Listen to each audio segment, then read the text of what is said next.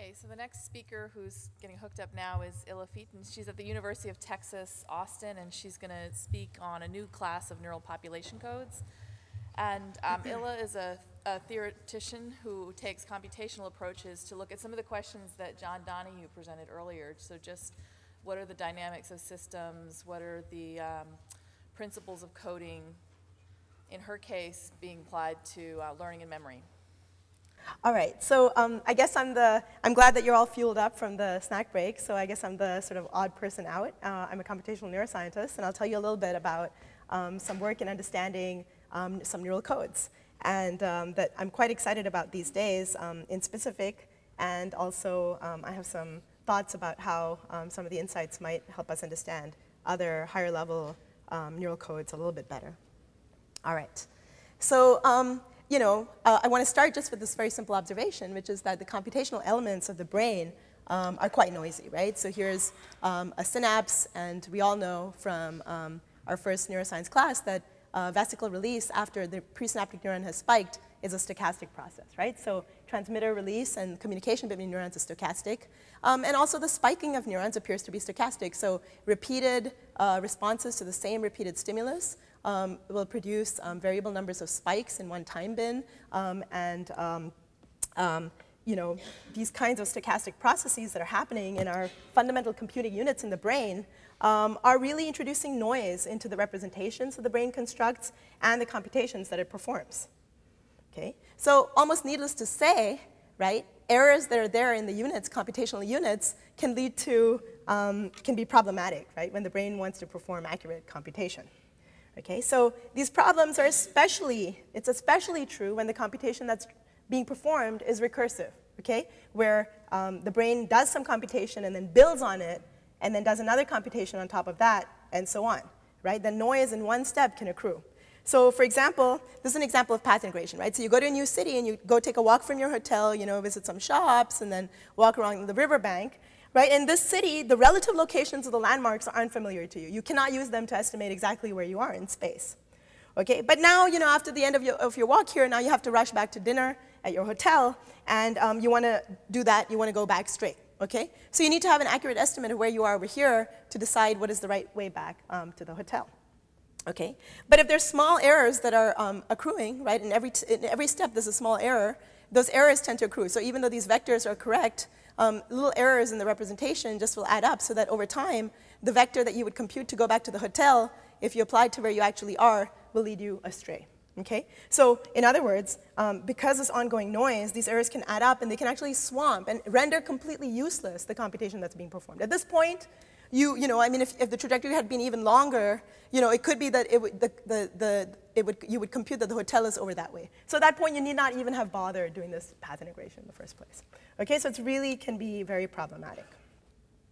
So given that that is true, right, how does the brain control for these effects of noise? What does it do? How does it deal with it? Okay, so in neural population codes, which um, we've all seen to some degree, uh, a large population of neurons encodes the same variable. So for example, here is a variable like stimulus angle. Imagine something like V1 orientation tuning.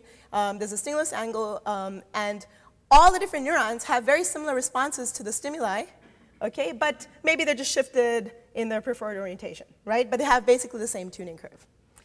Well, in such a case, you know, reconstructing the stimulus values, so you know, these are the average tuning curves of the neurons, but on any given trial, they'll emit some variable number of spike counts, right? These different colored neurons emit some variable number of spike counts, and they give you some estimate of the, of, the, of the variability in these bars here.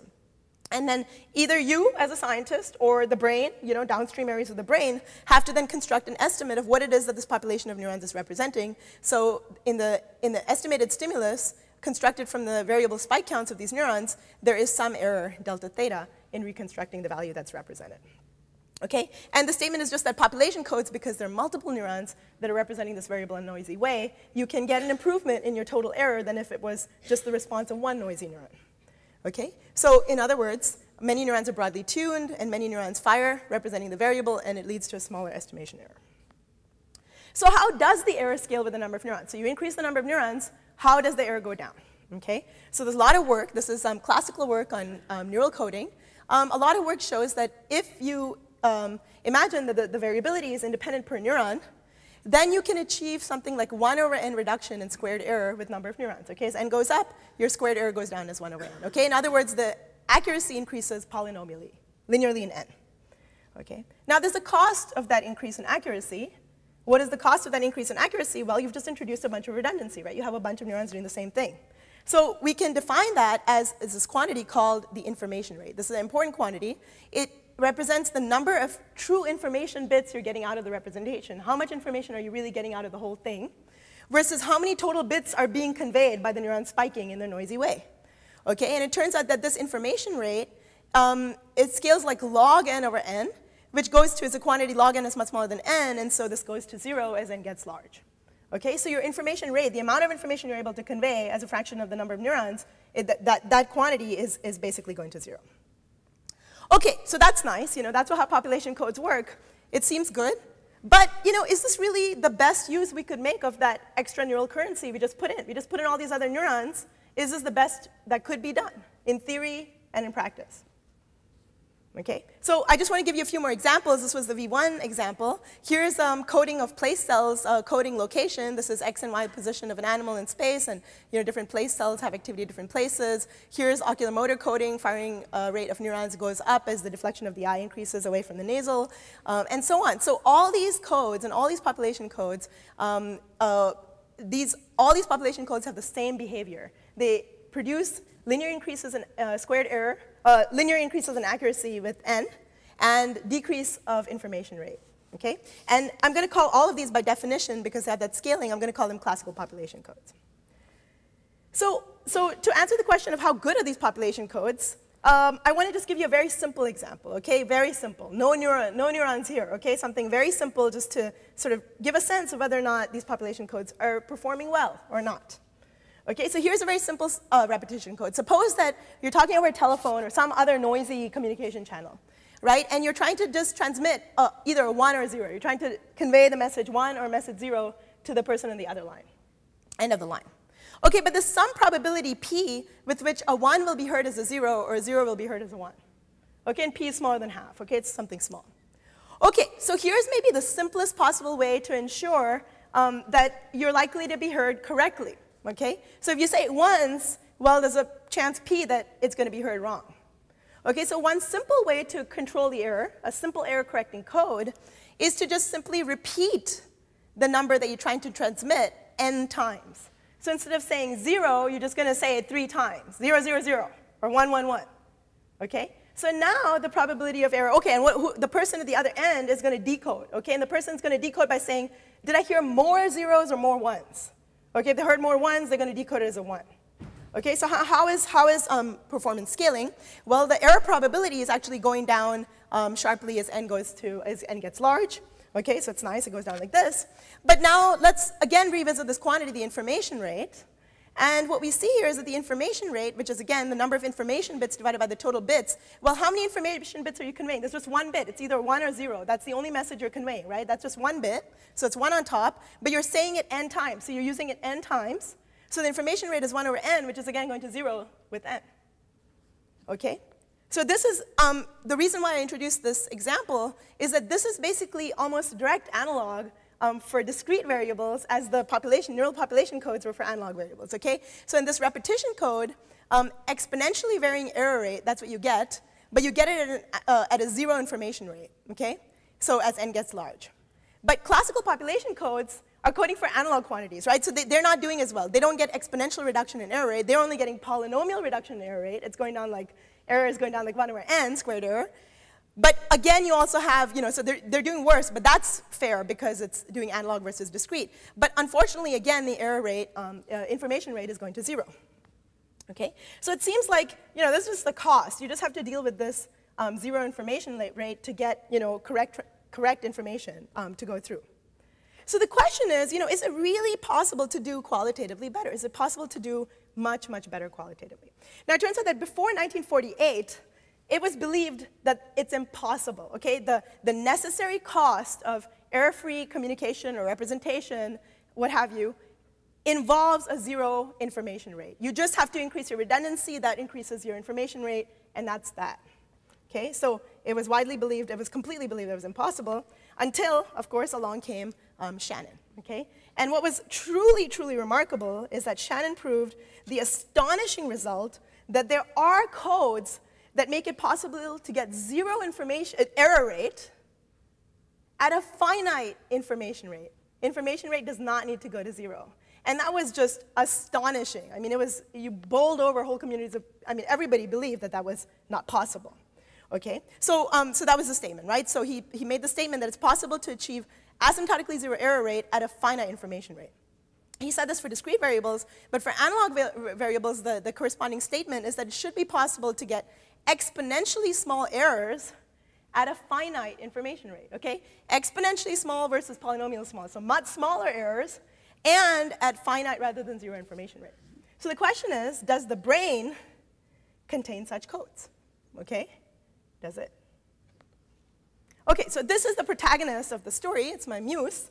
And uh, most of you are familiar with this curious response of, um, of grid cells. Okay, this is a single cell in entorhinal cortex. Um, each dot is a, a spike of the cell. The black line is the trajectory of an animal as it's exploring a space, and you can see that this cell is spiking at um, multiple blobs, right, at these multiple discrete locations in space that form a very nice regular pattern. It's actually a triangular lattice um, in space. Okay, so um, there are many reasons um, independent of this, um, this, this, this, coding that seems to be happening here, to think that um, these grid cells may be the, uh, the, neural substrates for path integration, like the path integration I described in the first uh, couple of slides.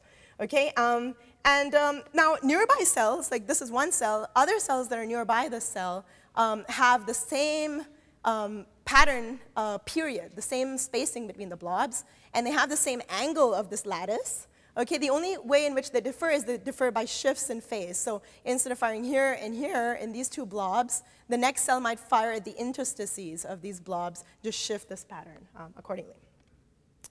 Okay, so um, let me just try to formalize what you see here in, in, what you saw in the previous slide in one dimension. Okay, so here are three different cells that are near each other. Uh, the blue cell is firing here, here, here, and here periodically. So is the purple cell with the same period, but they're just shifted versions of each other. So now if I tell you that the blue cell is firing, what do you know about where the animal is? Well, you know it's either at this location or here or here or here, but you don't know whether it's in this box or this box or this box. So it's a periodic code, right?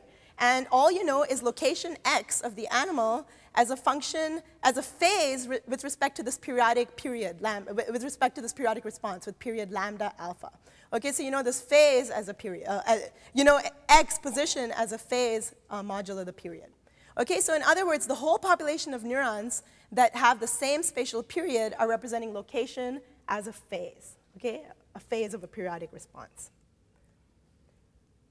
Okay, so this, this um, is um, um, one of the phenomenological statements about grid cells. Here's another finding, which is that as you move along this entorhinal cortex, um, along some, a strip in it, um, along a certain axis, from dorsal to ventral, the cells have different spatial periods, okay? They go from uh, small periods of about 30 centimeters to large periods of about 3 meters. But even 3 meters is much, much smaller than the overall scale over which animals care to explore. So rats go around per day exploring for food over a kilometer, 100 meters to a kilometer per linear dimension. Okay, so, so this is the scale that animals care about, but this is the biggest grid, that's the smallest grid. So in other words, if you have n different networks with n different spatial periods, then the code for location x is the set of n different phases with respect to these n different periods. I'm sorry, that should read lambda n, not lambda 1.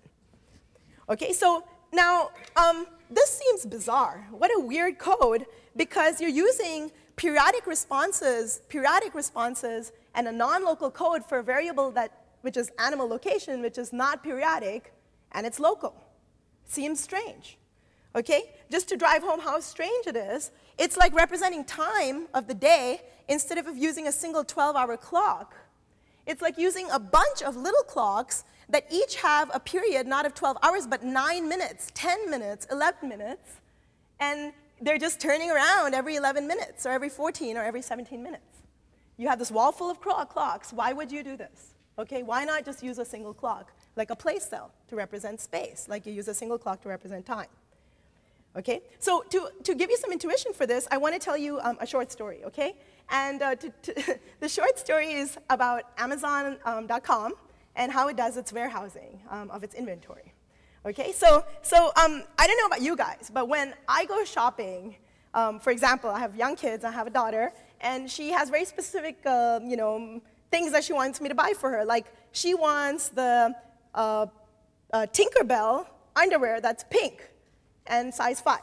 Okay, so I go to the store, I go to Target or whatever, and I, I go to the aisle and find um, the underwear, but I'm looking for Tinkerbell. Ah, there's Tinkerbell. Oh, but that's blue. Ah, I found pink. So I'm very happy I found pink. I pick it up, I bring it home, and I'm like, I got the wrong size. I got size four, not size five. Okay, so this happens to me a lot. Uh, maybe you guys are better.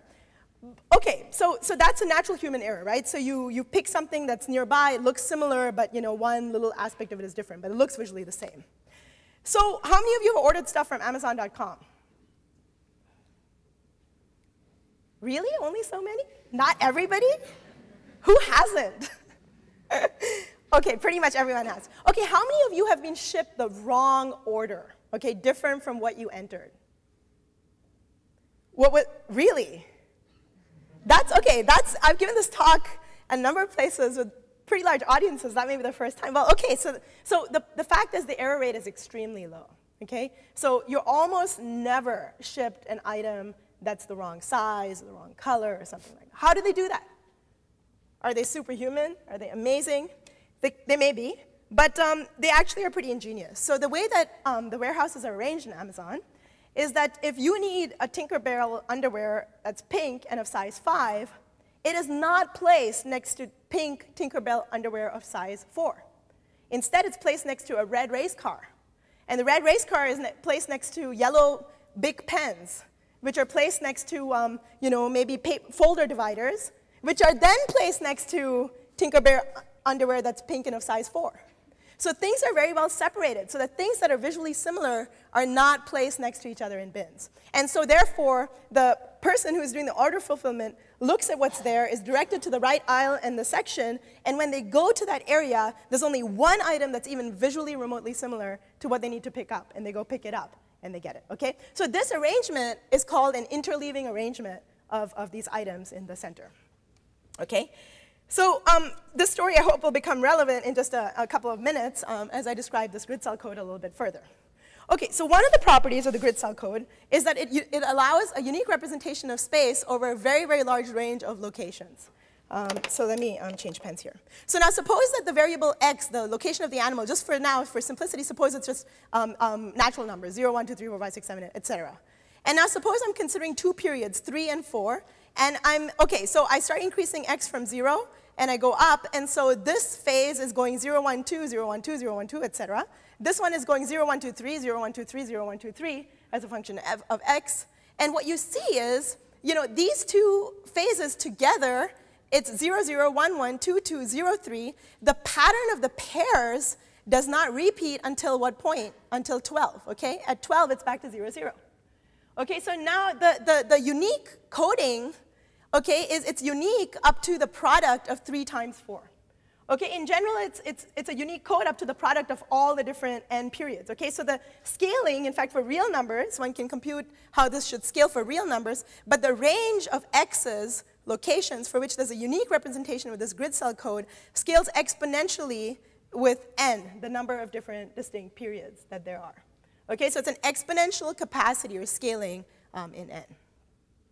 So it's not just exponential capacity, but there's also something very interesting about the structure of the grid cell code. Okay, and um, this is what the activity space looks like of those neurons, the grid cell neurons. Okay, this is a torus. Okay, and it's actually n-dimensional. Um, and what uh, the code looks like is, suppose you start, this is x, okay? x goes from 0 to big R, which is this unique range that's exponential. And I've just rainbow colored it just for color coding.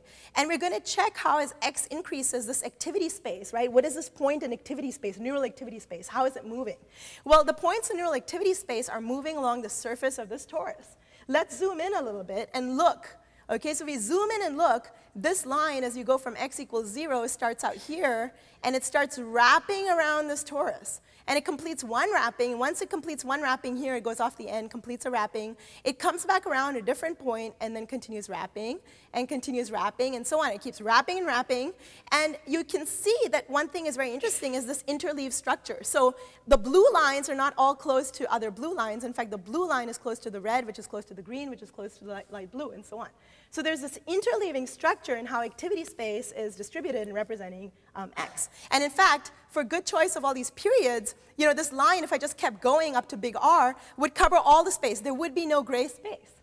Okay, but um, if, I, if I say that the only coding that the animal distance that the animal cares to code is some smaller distance RL, these lines end up being very well separated from each other, separated by this gray space, which is not used for anything. So yeah, so now if there's some noise, okay? And um, now suppose that this is, this is the activity space, right? Neural activity space, and the noise is the neural activity space. Neurons are spiking, Poisson spikes, and so on. Now imagine that there's um, a, a noise, which I've represented by this ball, this gray ball, right? The noise can put you somewhere in this gray ball.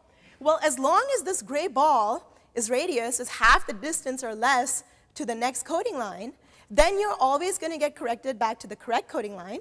Okay, and in fact, even if the gray ball is bigger, but you already know that you cannot spontaneously jump from this location far on this end to this location far at the other end, because by the way, RL is still a very exponentially large distance. In fact, for very reasonable values of the periods lambda, just 10 different values, from 30 centimeters up to 3 meters, the Rs that you get are um, astronomically large. They're as big as the distance from here to the moon. Okay, so surely the animal does not care about coding all those distances. So as long as you care about coding distances only from 0 to RL, some smaller distance, um, these lines are well separated, and all errors that are made in this ball can be corrected to the nearest coding line, which then put you in the vicinity of the true location. Okay, and in fact, because this coding line is stretched out so much, exponentially much, then local errors in any small segment of this coding line are so stretched out, they represent a very small distance and true location. And in fact, these errors that are residual between this, this dot here, the true location, and any point in this line are exponentially small in the number n. Okay, so the bottom line is that any noise smaller than this, this um, sphere can be um, corrected. The size of the sphere and the distance between these lines depends on how many periods n there are.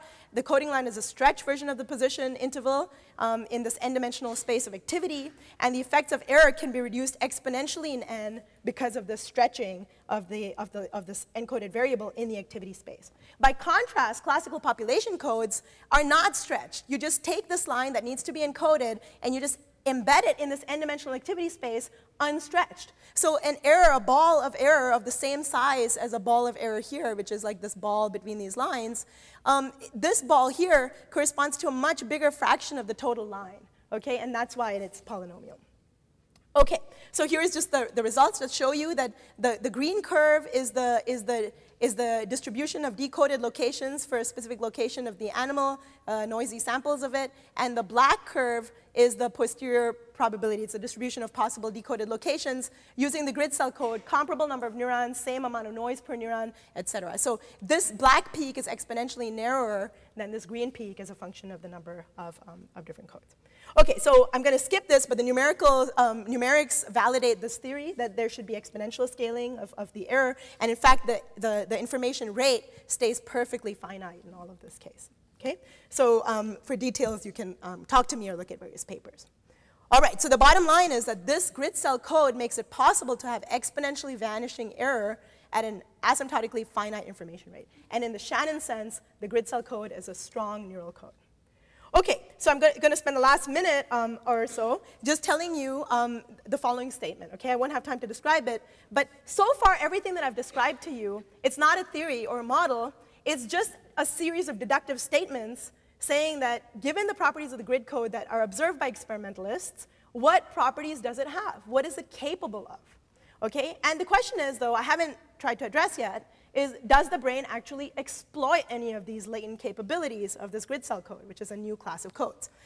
And so the only answer I can provide, I don't know the answer to that. Experiments will tell us the answer to that. But the one statement I can make is that a rather hippocampal-like circuit can implement good decoding of the grid code. So the entorhinal cortex where the grid cells reside um, is the input, the primary cortical input to the, to the hippocampus. And the circuit of uh, the CA3 area and the CA1 field of the hippocampus together form in, in a very straightforward way um, the appropriate decoder for this grid cell code to be able to exploit these error correction capabilities.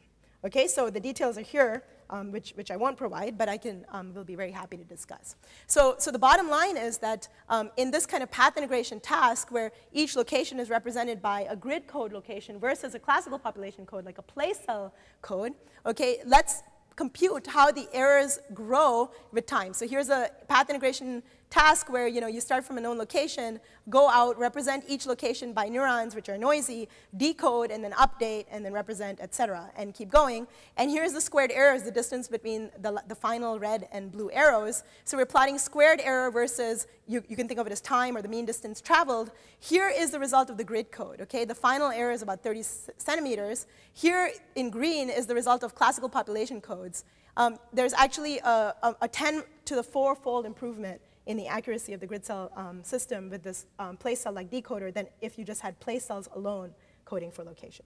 So just to conclude with the discussion section, why, given the superior performance of these exponentially strong um, codes, why are there any classical population codes in the brain, right? Why? Why not have only these strong codes?